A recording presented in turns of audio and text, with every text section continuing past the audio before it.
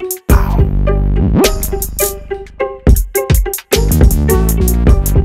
this is the biggest thing. Save your money versus just throwing out this little bit tidbit here, this little bit t- uh, tidbit here. You're better off as opposed to just spending five dollars a day, which is a cool strategy on the back end, right? Like have that one thing going. But I'm just saying, if that's your entire budget, right, you're better off as opposed to just slowly dripping out and bringing that small awareness. Instead, like saving up ten thousand dollars or one thousand dollars, whatever that number is for you, building a strategy on it and actually launching, right? Figuring out, oh, I'm gonna, I want to take this one song. Right, we we we focus on too much, too many parts of our brain and, and parts of our music. Let me just get this one song, and in this short period of time, one, I'm going to pitch it on Spotify's playlist. It means it can't be out yet, right? If I do that, right, and then two, I'm going to pitch to be on other playlists at this same period of time. So if I can land multiple of those really close to the day it, it um it drops, then I'm going to get an, an influx of traffic. And I'm going to encourage my audience if I already have fans. Some people don't have this, but the people who have some fans, right, even if it's the homies or whatever, I'm going to encourage them to listen in in a short period of time because I want to be able to leverage those triggers on on on um not Instagram, Spotify.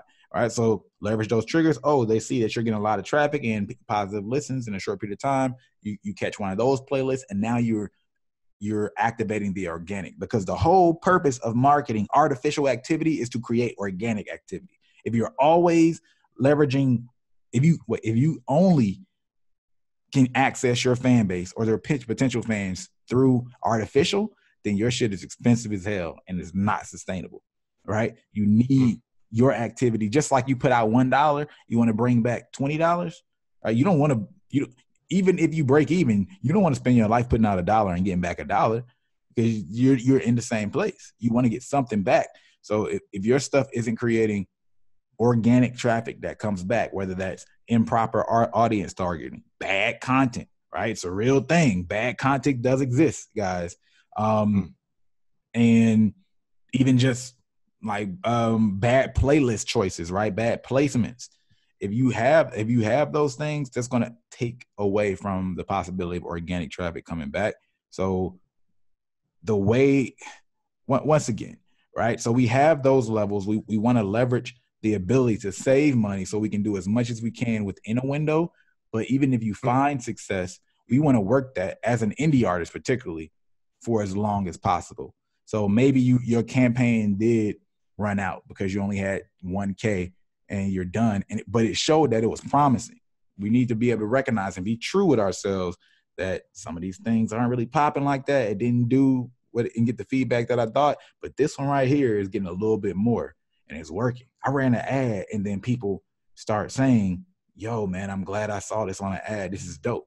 Right. Once you get to that point, that means I need to be running that ad for like six months. I need to try to do that. And then we can kind of consider, oh, let's whenever I get fifty dollars, I'm gonna keep putting it back in versus trying to uh, save up to one point. So it's it's two phases with your money: build up, launch, give it as much energy as possible, take the feedback and make the decision to either move on or double down. And that doubling down will either look like just creating an evergreen almost campaign, just keeping can dripping attention as, as much as you can when you can. But if possible, dub, um, getting a bigger launch on the back end. Yeah, and I, I want to add an additional point to spending your money on a specific song or sort of a philosophical point, which is spending money on a song or even when you're in the studio recording it knowing that you're i already know i'm going to spend a thousand on this song i think it'll put really put your money where your mouth is because a lot of artists they make songs and then they sort of retroactively decide is this worth spending on? And so what's happening is you as a songwriter you're not necessarily taking the song as seriously as possible. Uh, just to use an example as a teacher or as a youtuber I do a lot of things where it's hiring writers or hiring editors, uh, knowing that I'm going to feel the pain if they mess up or if the article or whatever is not going to work because I'm putting money into this. And just even internally, if there's a mistake or if I was lazy or the, the writer was lazy, I'm going to take it more seriously the next time, whether that's deciding to fire them or being yeah. like, bro, you got to proofread this thing because yeah. already I'm paying for this. Artists need to kind of flip that on their head as well. If I know when I'm in that studio writing that song, this is going to be a thousand dollars put into this. I'm going to take a little bit more time to make sure that hook is really banging. Mm. that that that them bars, if I if I'm more lyrical based, that that punchline is really where it's at.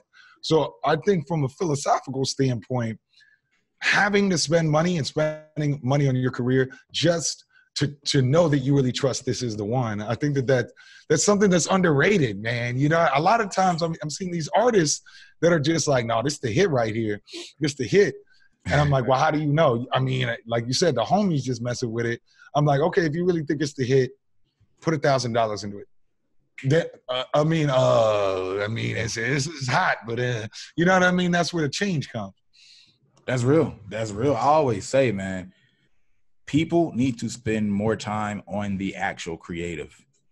Like we've gotten to this point where we think, oh, well, let me just get a 4K video. It's a high quality, right? Let me just get this to look like this and put and buy some new clothes and think that this is going to make the video popping. But the thing is, like quality videos have been com- commoditized, right? There's a lot of quality videos. People expect quality videos so much so that non-quality videos break through at times, right? Like we're not in that marketplace anymore where people didn't have access to, to high quality cameras and things like that. So what does that mean? This is good because it puts the onus back on the artist to have actual creative. We we spend time we create these concepts and all right, let's put this out. Let's do the video like that. But okay, that's a cool video. Cool doesn't do anything, right? We mm-hmm. need something that's better than cool, right? Cooler than cool, as Andre said, right? Because mm-hmm.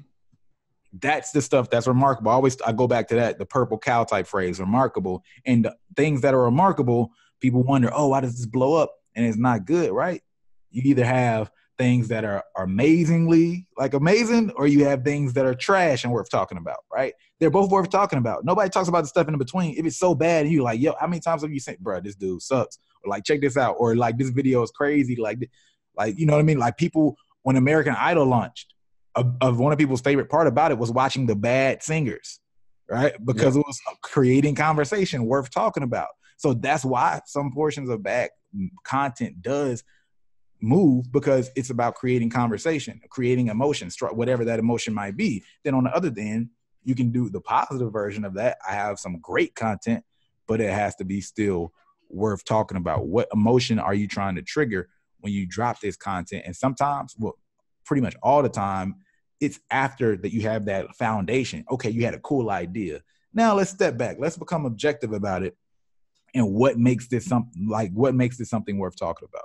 what makes this really interesting not just because it was a, a, a, cinematic shot video and you told a story yes you told the story that's good. You have a video that actually because some people's songs they have a story and they want to tell that specific story. Okay cool you got the baseline story.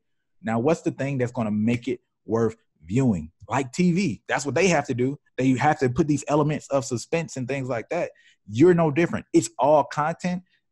Newsflash none of this stuff is is different. We don't there is like as a consumer, yes, we get told these are different formats and I like doing this versus that, but it's all just content. Whether I'm watching a commercial, whether I'm watching this interview, whether I'm watching a movie at the movie theater, big screen, whether I'm watching a reality TV show or I'm watching like my own videos, um, like just scrolling through my own phone, right?